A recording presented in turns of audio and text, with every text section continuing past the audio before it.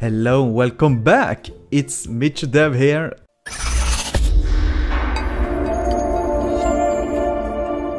Uh, today I'm gonna make a new level design, okay not level design, but I'm gonna make a scene design or what we can call it. And it was very fun to make the other one, so it's time to create a new one.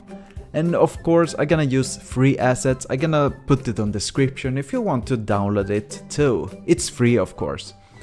And uh, I'm gonna call this scene like Tree of Life. No, no, I'm not sure what I'm gonna call it. It's better you can uh, choose the name by yourself. I'm not sure. Maybe the big tree on the rock. yeah, that's quite badass name. Big tree on the rock. Jump into the video, thank you. So maybe you wonder what my plan was. I'm not exactly sure, but with these assets I did understand I need to work with a lot of rocks and stones. And of course little bit with the tree after that.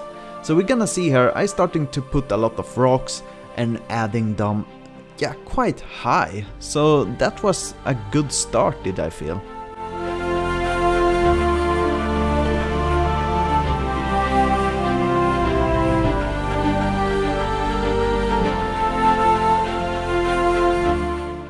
I did feels like the ground is a little bit empty, so why not just add a lot of stone and rocks on the ground? Yeah, I did feels like, look, when you're just spam a lot of items on the ground, it's starting to look like a art or something. Wow, yeah.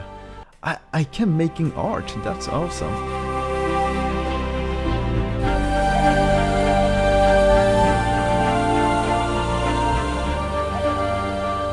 Okay, I do feels like now it's time to add the trees. Uh, I'm gonna have a big tree on the top of the rock, uh, that's my real plan. And after that just randomly add a lot of trees around the map. And after that we're gonna see what's gonna happen.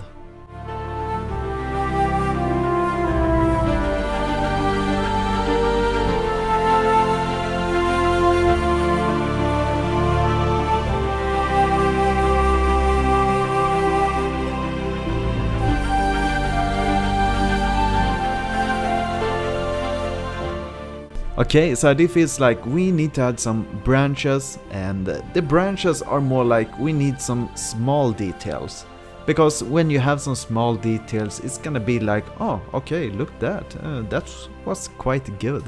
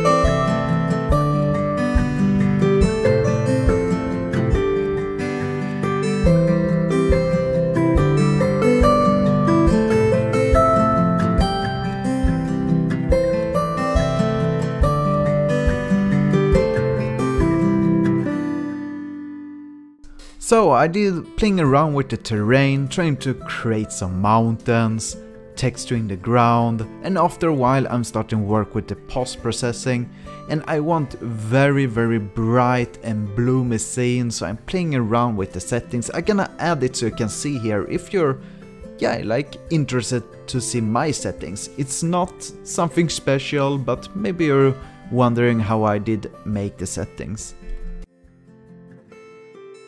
Damn, I got some shader error, so I needed to change the tree. I don't know, I tried to fix it like three or four times and I didn't care, I did just change the tree so the shade is working.